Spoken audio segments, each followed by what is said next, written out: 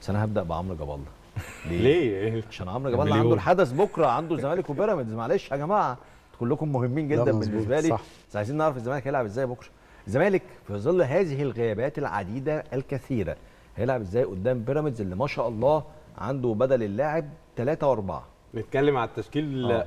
مفاجآت يلا بينا. مفاجآت. بكرة؟ مفاجآت. اسمعوا يا جماعة عمرو جاب الله هيقول لكم مفاجأة في تشكيل تشكيل لا الزمالك مفاجآت. مش ما قلتش مفاجأة أنا. آسف. حقك عليا والله أنا غلطان. مفاجآت في تشكيل الزمالك لمواجهة بيراميدز بعد ساعات يعني مش غدا كمان. آه، هقول لك على حاجة. الأول قبل ما أقول التشكيل أوسوريو كان إيه؟ بيفكر في بعد ما بعد ما قلت ده كله؟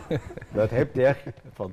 عشان وقت ال. آه، أوسوريو كان بيفكر آه، في البداية في بعض الأسماء كان على خلاف فيها مع جهازه المعاون. هما دايما بيفكروا مع بعض أوسوريو عنده أفكار هو بيصر عليها بشكل مستمر من من أول ما تولى المهمة والجهاز المعاون عنده أفكار إن إن الموضوع ده مش مناسب للقائمة الحالية الموجودة في الزمالك. بيحصل اختلافات وفي الآخر بيوصلوا لراي واحد وبيطبقوه. ماتش بكرة آه، حصل إن اوسوريو كان عايز يبدأ ببعض اللاعبين الشباب آه، داخل آه، التشكيل. الجهاز المعاون قال له إحنا محتاجين خبرات اكبر آه، فحصل تناقش في الآخر وصلوا لإيه بقى؟ التراي ماتش. آه. يبتدي بمحمد صبحي. حلو.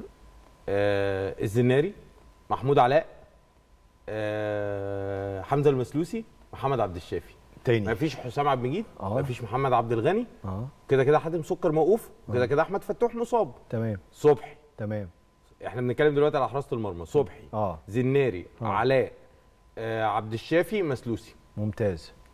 خط الوسط. آه. ثلاثة آه. عمر جابر.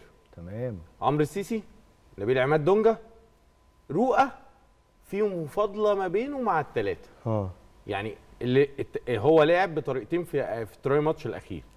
آه طريقة فيها رؤى وطريقة فيها عمر ودونجا والسيسي. فرؤى بيدخل في مفاضلة مع الثلاثه عمر جابر والسيسي ودونجا أو. يشيل واحد ويحط رؤى. ويحط رؤى. ماشي.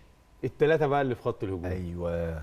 في الغالب شيكابالا ورقه رابحه مش هيلعب أساسي. شيكابالا في الغالب هيبقى بكرة على مقاعد البدلاء كورقه رابحة لخوان كارلوس اوسوريو ماشي. يبتدي بإبراهيم أنداي آه. مصطفى شلبي آه. ناصر منسي. مفاجآت فعلا.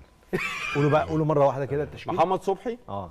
علاء مسلوسي زناري عبد الشافي آه عمر جابر السيسي دونجا ورؤى فيهم فضلة إن هو يدخل على. واحد من الثلاثه ماشي. آه نضاي شلبي ناصر منسي. هو ده التشكيل. آه كان في بقى تفكير في مين؟ في أحمد في إيشو آه. وفي سيد نيمار. آه. ياسر معاون قال لي سوري ال خبرات مش هتساعد. مم. ممكن نستخدمهم خ- على خلال أحداث المباراة مم. وفقا لمجريات اللعب.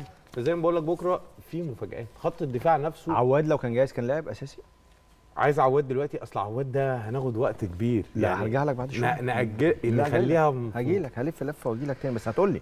عواد هجي كان لك. عواد كان 100% أساسي بكرة. خليني أقول لك ليه بس نلف اللف ماشي حلوة الكاتش دي يعني بي- بيشوقكم.